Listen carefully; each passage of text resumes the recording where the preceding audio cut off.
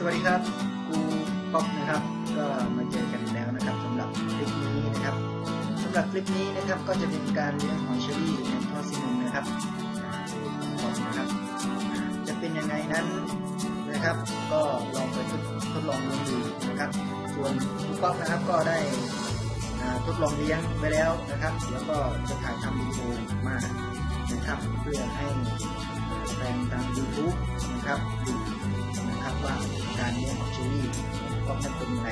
นะครับวันนี้ก็จะเป็นทฤษฎีนะครับ การเลี้ยงหอยเชอรี่ในท่อซีเมนต์นะครับลองมาดูกันนะครับว่าคุณป๊อปนั้นมีวิธีการครับ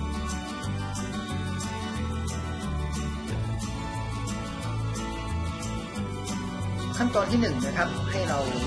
เตรียมนะครับท่อซีเมนต์นะครับคนปิดขนาด 140 เซนติเมตรนะครับจำนวน 2 ท่อนะครับ แล้วก็ขั้นตอนที่2เนี่ยนะครับให้เราานำบ่อที่1นะครับ เตรียมที่จะผสมพ่อพันธุ์ในแม่พันธุ์นะครับ ขั้นแรกเนี่ยนะครับขั้นที่ 1 ให้นำดินนะครับใส่ลงไป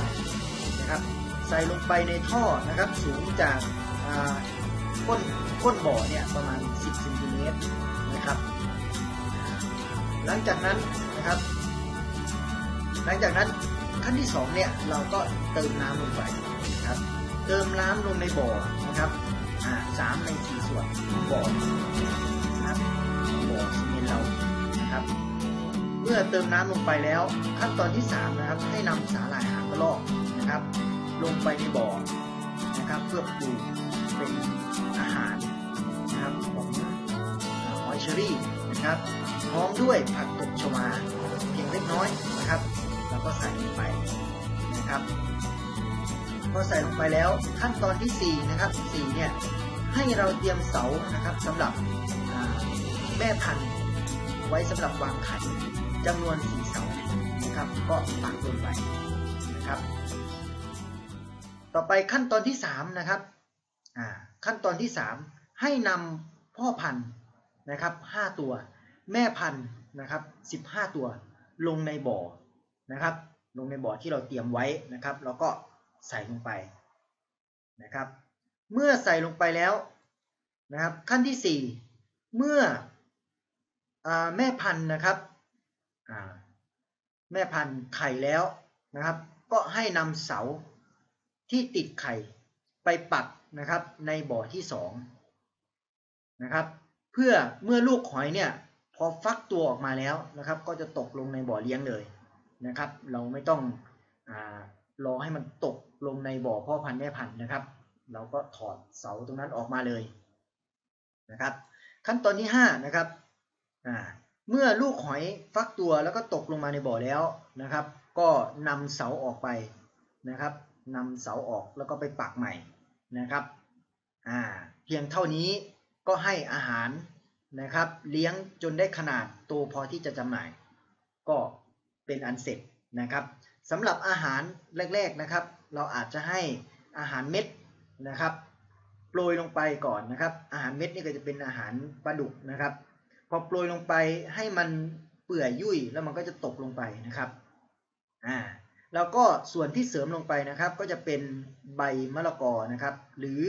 ใบมันสำปะหลังนั่นเอง นะครับอ่าถ้าเราไม่มีก็คงจะเป็นจะกินอ่ามันจะกินพวกอ่าสาหร่ายหางกระรอกนะครับ คือยอดอ่อน หรือจะเป็นรากของอาผักตบชวานั่นเองนะครับอะมาดูนะครับการให้อาหารก็จะเป็นอ่าให้ใบมะละกอหรือผลมะละกอดิบนะครับก็ได้นะครับแล้วก็ใบมันสำปะหลังก็ได้นะครับ